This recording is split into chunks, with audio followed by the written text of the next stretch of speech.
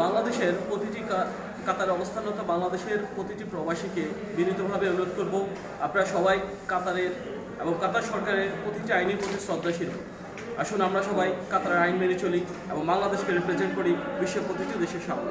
ধন্যবাদ সবাইকে। করে